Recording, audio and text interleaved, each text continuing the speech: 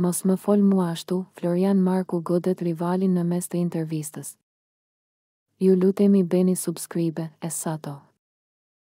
Boksieri shqiptar, Florian Marku do të përballet në ringun e boksit me Dylan Moran, më datën dy shtator.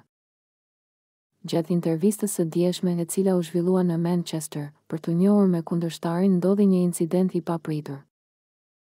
Në momentin e intervistës së Markut, atij iu afrua boksieri Chris Kongo, i cili po e pengonte. Boksieri shqiptar i kërkoi largimin nga aty, por Kongo nuk e dëgjoi, madje e injoroi. Kjo gjë bëri që të nxehen gjakrat, ku Marku e shtyu dhe goditi Kongon. Situata u qetësua më pas, pas ndërhyrjes së personave që ishin aty pranë dhe Marku vijoi me intervistën.